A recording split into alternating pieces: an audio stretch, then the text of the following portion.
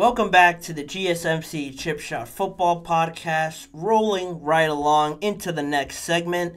The Green Bay Packers and Lambeau Field, a historical site, a very big attraction for the city of Green Bay, Wisconsin, bringing in a lot of people, not just in Wisconsin, but around the state of Wisconsin. People come to see the games. It's a very big venue, a very big attraction for the entire state to have not only a massive team in the NFL with all of its history, but now them starting to trend in a positive direction. Bringing in all those people is great.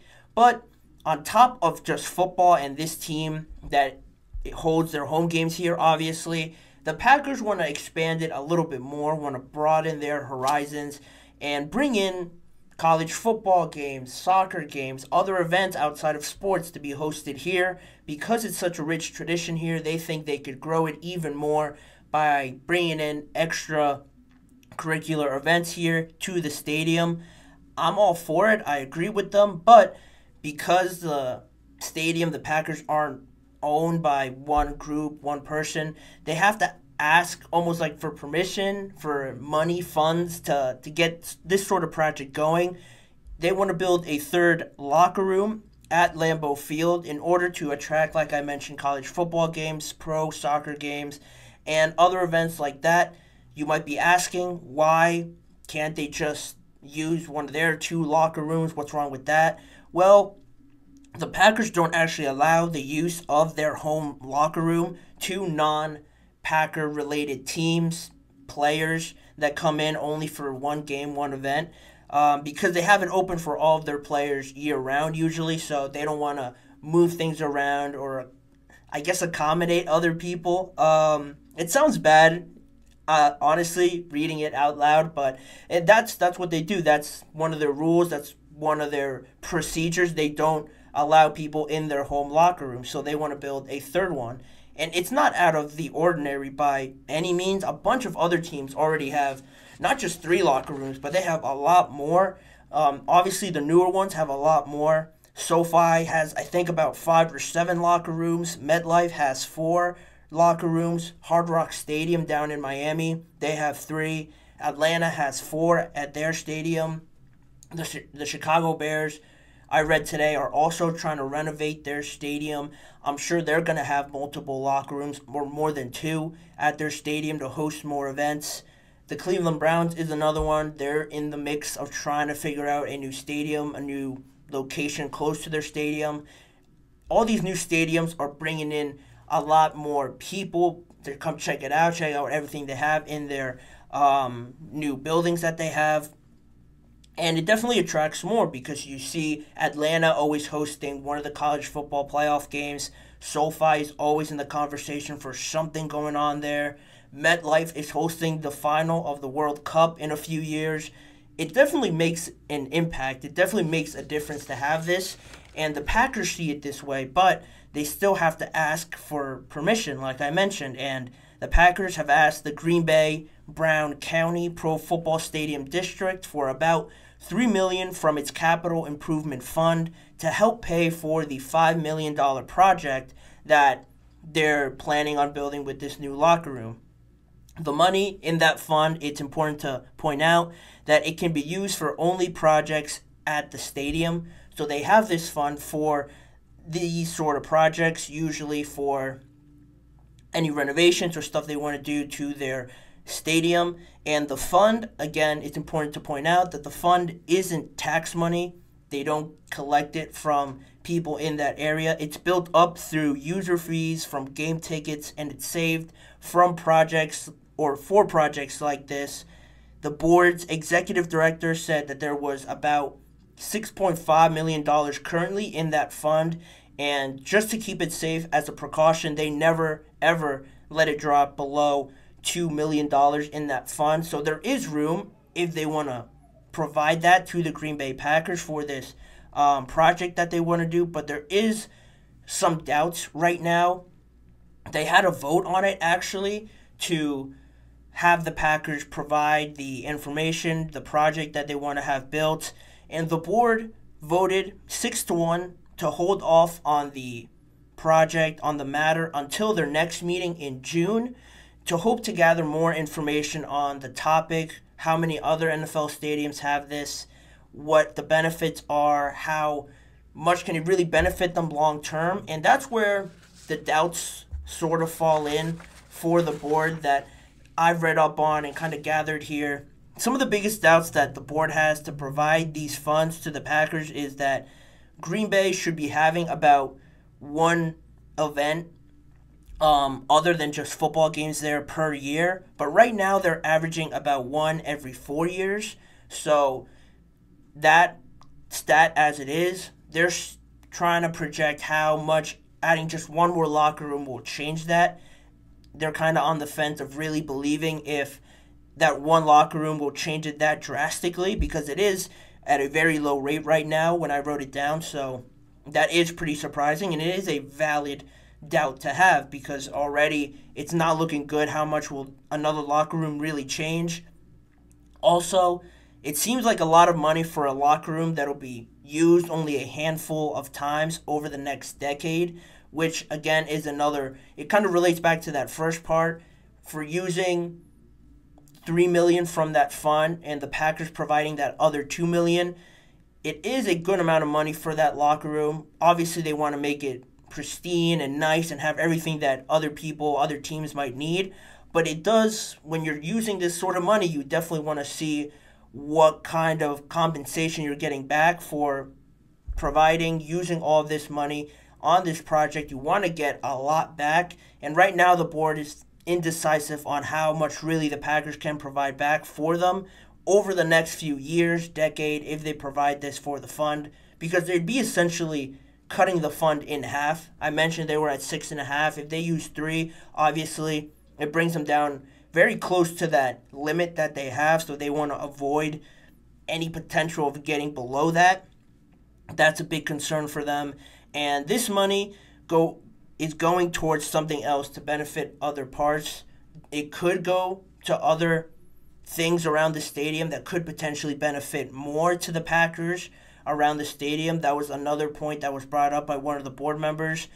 Does it have to be a locker room? Could it go somewhere else? Probably renovating a different part of the stadium or um, trying to build another thing that's not a locker room. That's another suggestion that one of the board members has. So, those three sort of topics right now are the biggest doubts for the board, and it does raise questions, and of course, it is something to, to consider because it is important from this point that it is a lot of money. The board doesn't really want to waste too much of it if it doesn't give them anything back. And the Green Bay Public Affairs Director, Aaron Popkey, said that because they only have two locker rooms right now and they do hold certain events limited, not that many compared to SoFi or any of the other stadiums I mentioned, because they only have those two, they're forced to convert their locker room that they have in the facility into a temporary excuse me into a temporary locker room and change everything around and have a lot of manpower change that into looking like a locker room temporary then putting everything back. And it's a big process. It's not simply just changing moving a few things and making it look like a locker room. I'm sure they have to bring in all sorts of equipment to move huge machines around um, in a professional football gym. It is a lot of work to be doing this constantly, and the Packers don't really want to keep doing that, in all honesty, and trying to build this new locker room, trying to get it to work.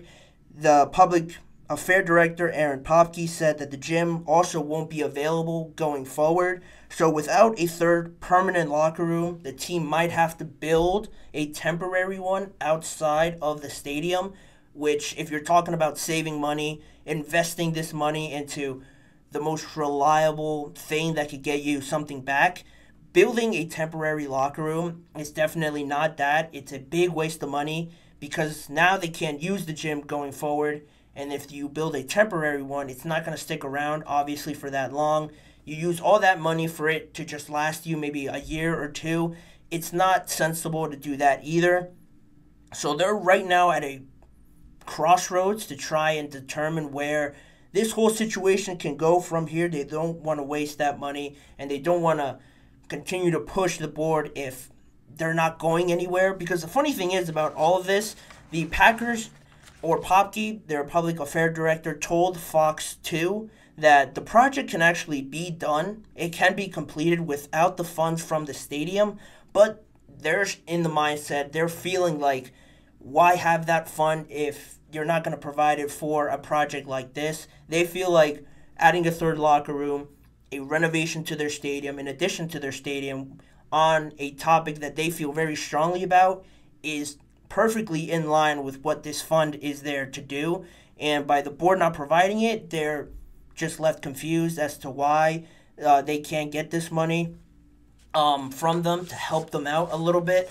But again, they can do this project without that fund, but they'd just be left a little bit bitter about it. Um, in all honesty, saying that, if you look back, just to wrap it up a little bit and talk about what events were held there, what sort of attractions the Packers bring in with this um, temporary setup at Lambeau with two locker rooms. They usually convert the gym, like I mentioned, and the last event that they held there was the Wisconsin LSU game in 2016 for something else outside of professional football.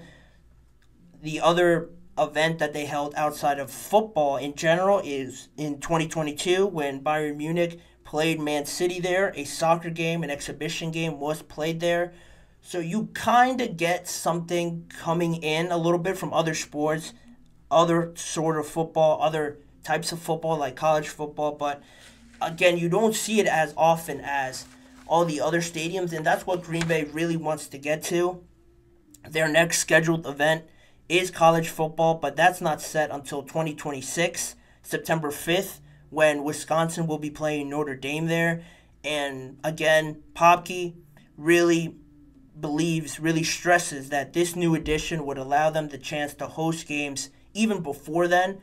That's a lot of time, two years, two and a half years from this point to, to until 2026. there's a lot of opportunity there to host other things, bring in other teams, see that, oh, Lambeau Field is actually a really cool place to come and play and expose a different game, college football atmosphere to a new group of fans. I hope it gets done. I think it makes sense. I didn't know that they didn't have a third locker room already because of how historic that place is. The only downside is, from my personal standpoint, is the weather. The cold, I don't know how many people that attracts compared to Los Angeles inside of SoFi Stadium. Atlanta is warm. Again, another domed stadium.